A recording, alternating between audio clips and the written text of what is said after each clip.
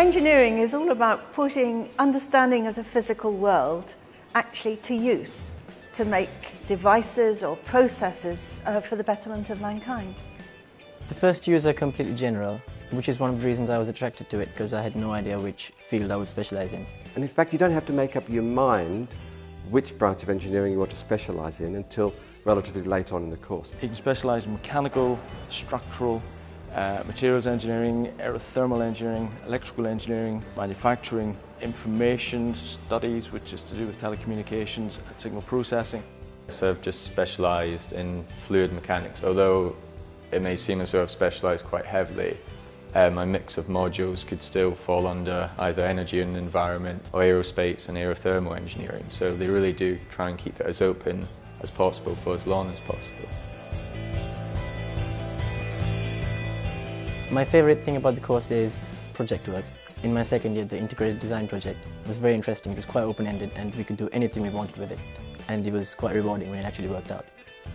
We have four exchange schemes whereby our students in the third year will go abroad to various parts of Europe and the rest of the world and do a year there. We have very strong links with industry. Our research in particular is very much inspired by our industry contacts, but also industries are involved with our undergraduates. The university has a requirement that we do eight weeks industrial work. We have a coordinator who's very helpful. He even managed to recommend me to a place in Sri Lanka, which I really enjoyed. There's also the language unit, which gives you, I guess, a unique opportunity to study languages within your own department. Even at these times, I think that most of our graduates do get jobs, either immediately on graduating or not too long afterwards. Employers really value the Cambridge degree. They see how the skills you've learned can be applied to any industry. So I could go and say work in aerospace or energy and that ties into the modules. Really whatever avenue you want is open to you. A lot of our students become engineers and also move into different disciplines uh, that are not essentially engineering based. We have companies picking up our students because they're known for their problem solving.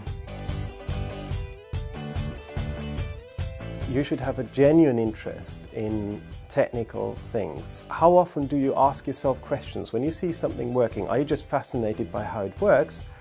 Or are you actually doing some research to find out how it works? Uh, but when you come to interview, Firstly, be relaxed. If you don't normally wear a tie, then don't wear a tie. And be prepared to answer questions based on your personal statement. I would say that the most important thing you could do is show how enthusiastic you are about engineering. Read books, go on courses, anything you can do to show that engineering is really what you want to do.